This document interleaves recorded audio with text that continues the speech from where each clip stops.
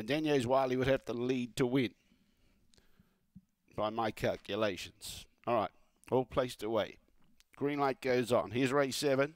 The City of Murray Bridge at Murray Bridge Greyhounds. Favourite Carencia, box two, set to go away. He was last out. Now, showing the speed, Alinga Jess is hunting up on the inside of Daniels Wiley, but Daniels Wiley's got too much pace and gets across. Carencia's getting squeezed up, trying to get up on the inside, pushing through, stoking up around the outside loading zone. We've got a race on our hands here. Loading zones pushing through in the centre. Comes at Daniels Wiley. Carencia goes to the inside. Alinga Jess not far away. Carencia. Carencia powers through and beats loading zone. Too good. Third Alinga Jess. And Daniels Wiley gave them something to chase, but finished at the tail end of the field, and the time was around 25.50.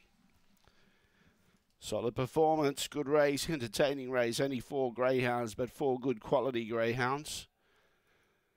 And Carencia has uh, proved to be the best of those here tonight. He was brave getting up on the inside around the bend after being slow away and squeezing through.